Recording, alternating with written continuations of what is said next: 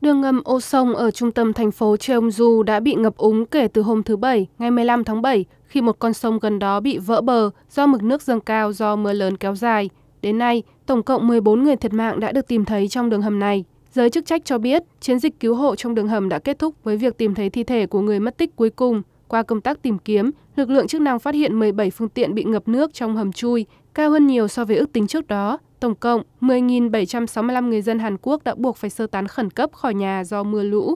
Trước tình hình này, Tổng thống Hàn Quốc Yoon suk yeol hôm nay đã lên tiếng kêu gọi đại tu hệ thống ứng phó thảm họa quốc gia nhằm tránh những thiệt hại về người do thảm họa trong tương lai. Phát biểu trước báo giới, ông nhấn mạnh biến đổi khí hậu đang gây ra những thảm họa thiên nhiên nghiêm trọng, do đó Hàn Quốc không thể áp dụng biện pháp ứng phó với thời tiết bất thường như cách thức cũ.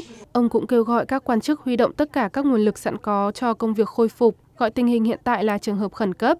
Cảnh báo mưa lớn vẫn được áp dụng tại các tỉnh Trung Cheong, khu vực phía Nam và đảo Jeju, với các tỉnh Cheola và các khu vực lân cận có thể hứng chịu lượng mưa lên tới 40 mm mỗi giờ.